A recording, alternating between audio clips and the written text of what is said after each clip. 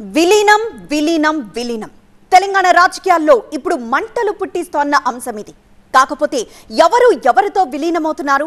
ఎవరు ఎవరిని విలీనం చేసుకుంటున్నారు? అన్నదే జనాలకు అంతు చిక్కడం లేదు. బీఆర్ఎస్ వర్సెస్ కాంగ్రెస్ మధ్యలో బీజేపీ అన్నట్లుగా సాగుతున్న ఈ వ్యవహారం రోజుకో మలుపు తీసుకుంటూ అగ్నిపర్వతంలా రగులుతోంది. ఈ ఎపిసోడ్లో తాజా సంగతులేంటో చూద్దాం. తెలంగాణలో విలీన రాజకీయం. బీజేపీలో బీఆర్ఎస్ విలీనమవుతుందన్న రేవంత్. మోదీతో రేవంత్ టచ్లో ఉన్నారన్న కేటీఆర్. కాంగ్రెస్లో బీఆర్ఎస్ విలీనానికి సర్వం సిద్ధమన్న బండి. ప్రస్తుతం తెలంగాణ రాజకీయంలో మూడు పార్టీల నాయకులు చేస్తున్న ఇలాంటి విభిన్న ప్రకటనలు ప్రకంపనలు సృష్టిస్తున్నాయి.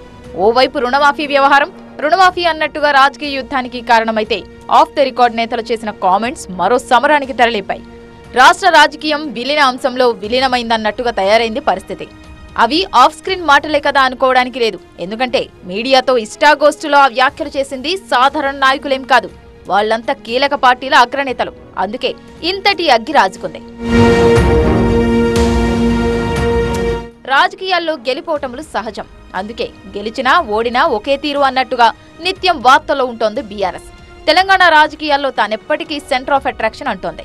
ఇప్పటికే రుణమాఫీపై ప్రభుత్వాన్ని ఇరుకుని పెట్టేందుకు రైతుల పక్షాన అన్ని విధాల పోరాటానికి సిద్ధమైన గులాబీ పార్టీ తాజాగా మరో అంశంలోనూ చర్చనీయాంశంగా మారింది. బీజేపీలో బీఆర్ఎస్ విలీనమంటూ చాన్నాళ్ళుగా ఆరోపణలు చేస్తున్న కాంగ్రెస్ పార్టీ వాటికి కాసింత పదును పెంచింది.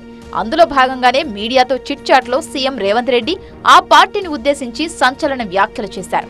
బీజేపీలో బీఆర్ఎస్ విలీనం అవ్వడం ఖాయమన్న రేవంత్ అందుకు ప్రతిఫలంగా ఏం దక్కబోతున్నాయనే విషయాన్ని కూడా ఊహించి చెప్పేయడం విశేషం. పార్టీని బీజేపీలో విలీనం చేశాక కేసీఆర్కు గవర్నర్గా కేటీఆర్కు కేంద్ర మంత్రిగా అవకాశం దక్కుతుందన్నారు రేవంత్. ఇక తెలంగాణ అసెంబ్లీలో హరీష్ రావు ప్రతిపక్ష నేత అవుతారని జోస్యం చెప్పారు. రాజ్యసభలో బీఆర్ఎస్కు నలుగురు రాజ్యసభ సభ్యులున్నారు కాబట్టి వారిని బీజేపీ కలిపేసుకుంటుందని దానికి బదులుగా కవితకు బెయిల్ కూడా మంజూరవుతుందని చెప్పారు. ఆ తర్వాత ఆమెకు రాజ్యసభ సీటు కూడా ఇస్తారని చెప్పారు రేవంత్.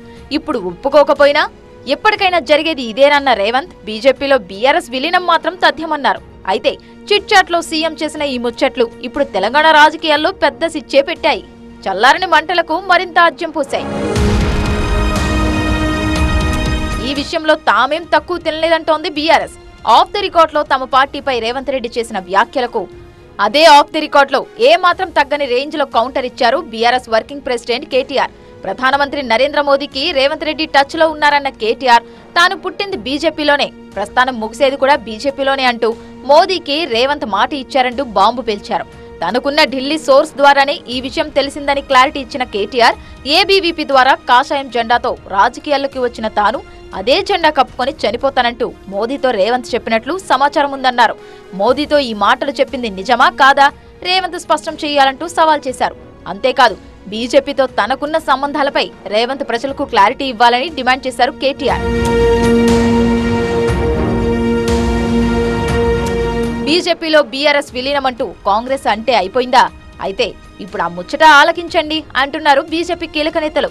బీఆర్ఎస్ పార్టీ కాంగ్రెస్లో విలీనమవుతుందని అందుకు ప్లాన్ మొత్తం సిద్ధమైందని తాజాగా మరో బాంబు పేల్చారు కేంద్ర మంత్రి బండి సంజయ్. ప్రజల అభిప్రాయం తెలుసుకునేందుకు ఆ రెండు పార్టీలు మధ్యలో బీజేపీ వాడుకుంటున్నాయంటూ ఆరోపణలు గుప్పించారు. కాంగ్రెస్ నుంచి వచ్చిన కేసీఆర్ మళ్ళీ అక్కడికే వెళ్ళొచ్చన్న బండి ఏమీ లేని బీఆర్ఎస్ను తామెందుకు విలీనం చేసుకుంటామని ప్రశ్నించారు. ఇక బీజేపీలోకి రేవంత్ వస్తారన్న కేటీఆర్ కామెంట్స్కు రేవంతే సమాధానం చెబితే బాగుంటుందన్నారు బండి. అయితే రుణమాఫీ విషయంలో కాంగ్రెస్ చేసిన ఢోకాపై రైతులు ప్రశ్నిస్తారన్న భయంతోనే విలీనం పేరుతో ఈ డ్రామాలు మొదలెట్టారని ఇష్యూని డైవర్ట్ చేస్తున్నారని విమర్శించారు. వీళ్ళు వాళ్ళు కుమ్మకారు. వాళ్ళ బీఆర్ఎస్ పార్టీ ఏం లేని పార్టీ అది. నాకు ఘర్కా నాకు ఘట్కా పరిస్థితి. మాకేం అవసరం చెప్పు బీఆర్ఎస్ పార్టీని చేసుకుంటాం మాకేం కాంగ్రెస్లకు అవసరం.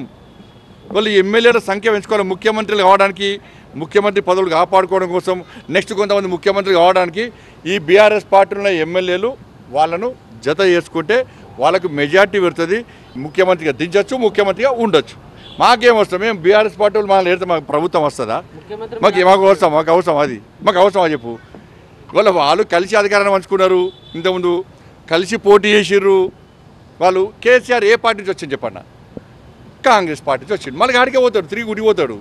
అలా కేసీఆర్ కేటీఆర్ విషయంలో మీరు ప్రజల దగ్గర పోతే చీతు అంటారు రాళ్ళతో కొడతారు. ఎవరి వర్షన్ వారిదే ఎవరి కామెంట్స్ వారివే. కాకపోతే దేనికి క్లారిటీ అనేది లేదు. రాజకీయంగా రచ్చ తక్కువేమీ కాదు. విలీనంలో నిజమెంతో తెలియదు కానీ కీలక నేతలు చేస్తున్న ఈ వ్యాఖ్యలు నిప్పురాజేశాయి. ఇది ఎన్నాళ్ళిలా రగులుతుందో ఎన్ని మలుపులు తీసుకుంటుందో చూడాలి.